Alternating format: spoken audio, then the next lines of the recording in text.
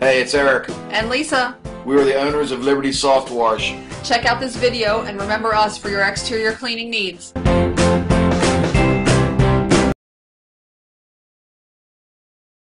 Are you looking to clean the outside of your home or business and think that the only way to do it is to pressure wash it? If so, you would be wrong. Soft washing is a safe and effective alternative to pressure washing. So you ask, what is soft washing? Soft washing is a cleaning technique that uses detergents while cleaning at a low or soft pressure. With our process, we see stains as pests and treat them in a similar manner.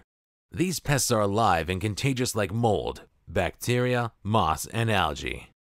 Pressure washing alone will never fully sanitize the surfaces. There will always be microscopic residue left, and that will start the regrowth of these pests almost immediately. With soft washing, all surfaces are pre treated with detergents that are specifically designed to eliminate the types of pests commonly found growing and living on exteriors of structures.